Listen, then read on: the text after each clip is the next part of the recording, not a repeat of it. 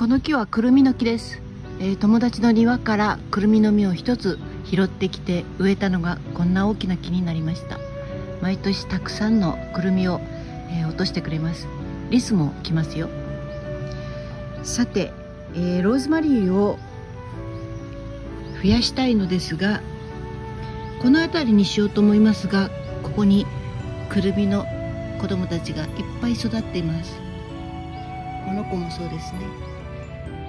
まずこのくるみの、えー、小さな小さな、えー、苗をどこかに移動しようと思います。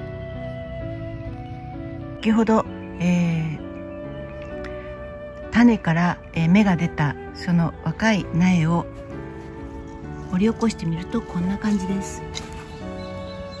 まだくるみの実がここについています。真ん中のは掘り上げる時に失敗してくるみが割れてしまいました。こっちもまだついてますね。これは、えー、また別なとこに植えるか、あのー、欲しいなと思ったお客さんに差し上げるか何かしようと思っています。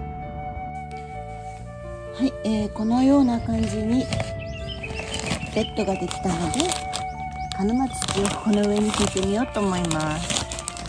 これは私流なので本当のところは分かりません。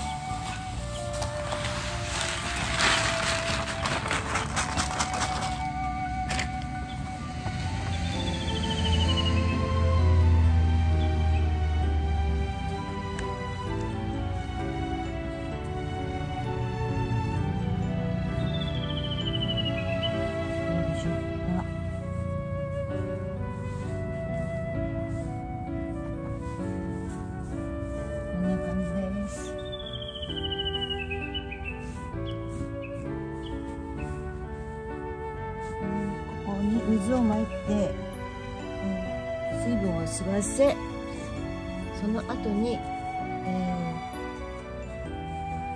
ー、写真法をしていきたいと思います。ちょっと綺麗になりましたね。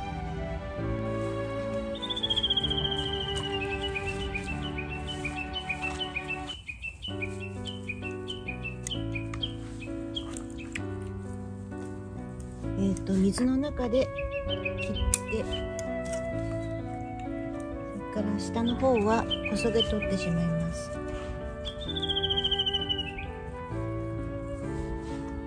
こんな感じです。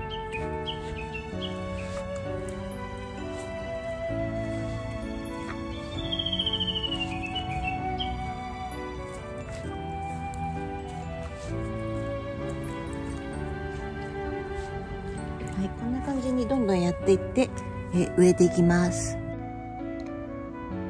こんな感じに差し干してみました。